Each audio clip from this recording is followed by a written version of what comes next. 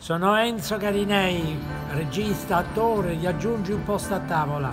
Ti mando un bacio, tanti cari saluti, che Dio ti benedica. Ciao Silvana!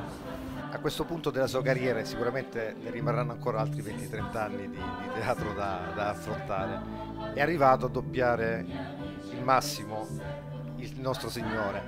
Come, come si entra nel personaggio? Eh, con una grossa tensione nervosa, però anche con una, con una gran voglia di, di, di, di, dire, di parlare, di raccontare. E in fin dei conti il Signore ne sa una più del diavolo, no? si dice, per cui meno male, eh, per cui è un grande onore, un grande piacere. Guardando la sua filmografia spiccano ovviamente quelle pellicole che lei ha realizzato accanto a Totò.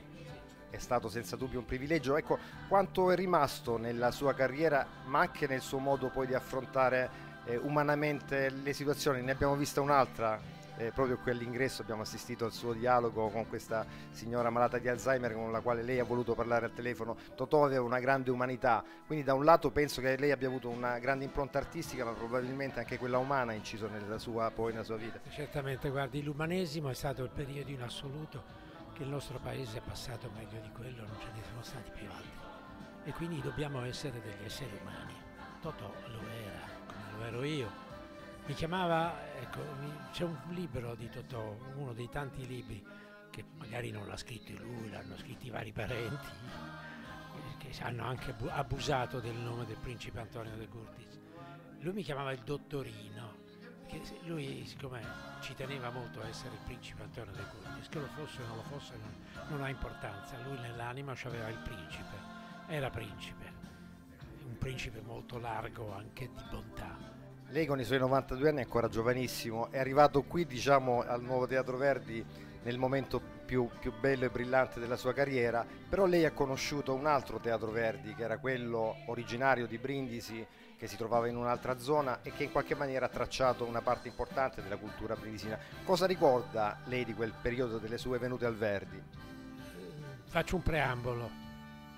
Io soffro quando vado in una città e il vecchio teatro non c'è più.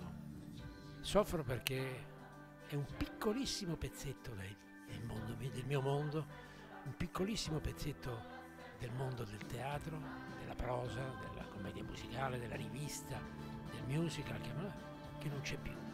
Mi è dispiaciuto molto, sì, ero venuto con, mi sembra, con la Moriconi, con le regie di Franco Enriquez, credo che avessimo fatto, eh, mi ricordo c'era la Bisbetica Domata, eh, Mauri, c'era Mauri dentro mi è dispiaciuto non ritrovarlo. Questo è un signor teatro, tanto di cappello, però è un'altra cosa, non c'è un'intimità, ecco.